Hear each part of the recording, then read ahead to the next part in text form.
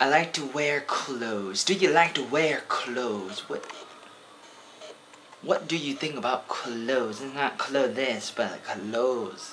I like to wear clothes um, because if I don't wear clothes, I'm naked, and so it's not really good to be naked all the time. So, what kind of clothes do you like, and do you like fashion? You know, do you like to do you like to wear um, you know, bunch of clothes? Do you um, do you have own a lot of a lot of shoes, a lot of high heels? Are you a girl? Are you a boy? Are you a boy that looks like a girl? Are you a girl that looks like a boy?